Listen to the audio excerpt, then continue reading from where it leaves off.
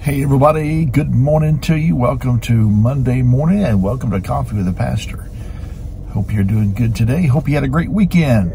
I was thinking this morning on my drive, I had my mind on the road, but still I was, I was thinking about the fact that, that we live in a world in which there's a bunch of knowledge. There's a, a lot of folks that are simply extremely intelligent. Um, a lot of people know a lot of stuff. Uh, but not everybody has a question about what you know. Not everybody has a question about what you know. And, and not everybody is open to maybe what you know. And not everybody is open to hearing all of your intelligence. Uh, so, so uh, wisdom says, um, before you answer the question, make sure there is a question first. Um, before you start just pouring into somebody, make sure they're open to hearing what you have to say. And in the meantime, in the meantime, you be kind to them. You, you, uh, you show them kindness. You become their friend.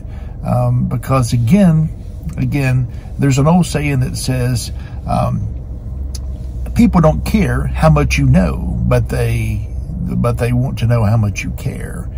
And, and so again, before I listen to just anybody, uh, they may be smart. They may have it all together. But before I just open myself up and open my ears up and listen to anybody, I first make sure they are a person of character, that they are a person um, with a good heart, that they are a person uh, in tune with God. So just because they have the book knowledge, just because they have, you know, even street knowledge or street intellect, uh, still, I like to and I'm sure you as well, before you listen to anyone who may think they know it all, um, make sure they're a person of, of character. Make sure that they are a person that really loves God and loves people.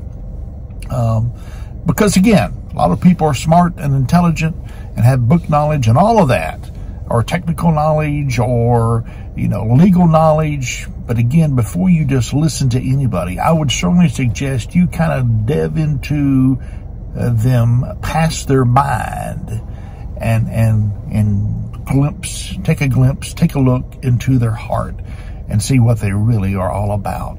Um, because again, again, even though they may be smart, even though they may be even successful in the eyes of the world, if their heart is dark, if their heart is black, if they have no integrity, if they're not a person of character, if they're not a person of honesty, if not a person that, that loves people and, and they're sincere in, in what they do believe, but yet they also filter that through kindness and through, through love and through uh, the fruits of the Spirit, then, then basically I would run away from those kind of folks. That's just my opinion. On this Monday, on Coffee with the Pastor. Thank you so much for watching.